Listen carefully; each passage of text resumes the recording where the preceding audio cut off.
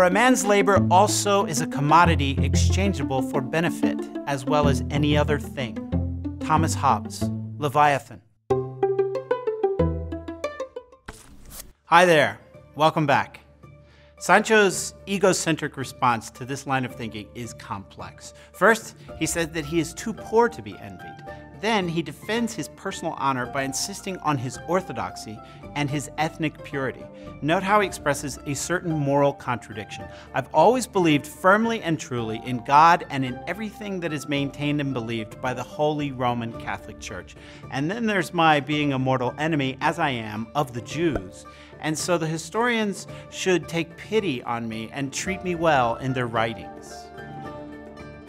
Sancho asks for pity from the mysterious authors of his story while simultaneously bragging that he has none for Jews. Finally, Sancho affirms that no matter what anyone else says, he is always fair with everyone. I was born naked and I'm naked now. I neither lose nor gain a thing. This will be Sancho's mantra in part two. Cervantes is preparing us for a serious examination of Sancho's character. Did you know?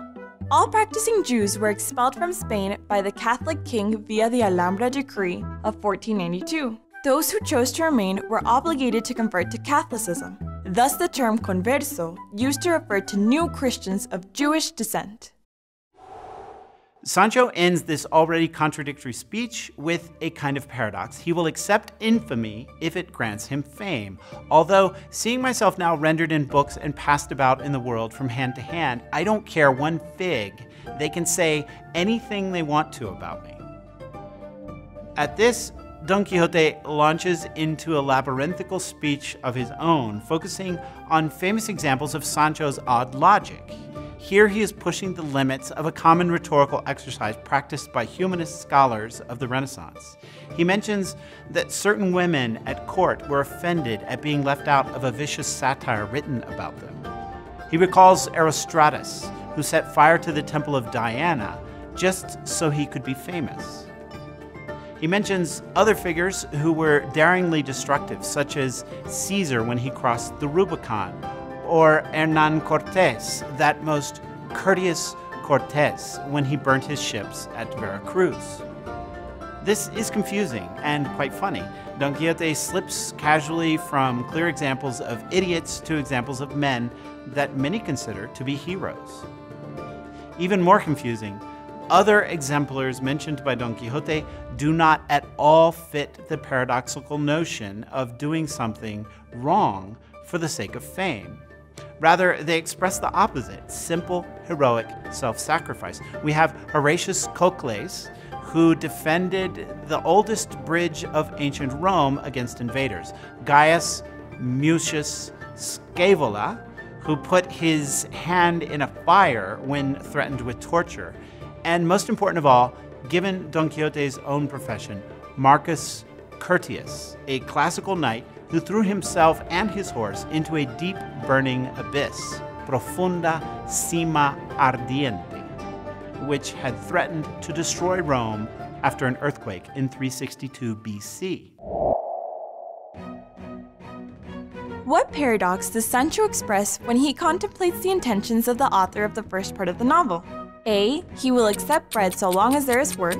B. He will accept a bad reputation if it results in fame. C. He will accept conversion if he can remain a Jew. Correct answer B. He will accept a bad reputation if it results in fame. However, the most fascinating example involves Charles V, who fashioned himself as a modern Caesar. The Holy Roman Emperor made a triumphant visit to Rome in 1536 after conquering Tunis the year before. He wanted to visit the Roman Pantheon, known in the 16th century as Santa Maria della Rotonda. This incredibly famous architectural wonder contains a round skylight which is at its peak, that is, at the zenith, thema of its dome which is perfectly spherical, or as Don Quixote says, shaped like half an orange. According to Don Quixote, the emperor took a tour of this building and was standing on the dome above this skylight looking down, after which his guide, a Roman gentleman, made a shocking confession. A thousand times, Your Sacred Majesty, I have felt the urge to embrace Your Majesty and then hurl myself down from that skylight in order that my fame should leave its eternal mark on the world. The Emperor thanked him and ordered him to keep his distance. But Don Quixote ultimately rejects the desire for fame, and his words emphasize the importance of not transgressing the limits of Christian morality. Thus, O Sancho, our actions should not transcend the limits placed upon us by the Christian religion that we profess. A lesson for an anti Semitic old Christian squire? That's all for now. We'll see each other in our next video. Don't miss out on the adventures of the ingenious gentleman Don Quixote de la Mancha. To enroll in the course, click on the novel. To subscribe to our YouTube channel, click on Don Quixote. To watch more videos, click on Dulcinea. And to follow us on our social media, click on Sancho Panza. Thank you.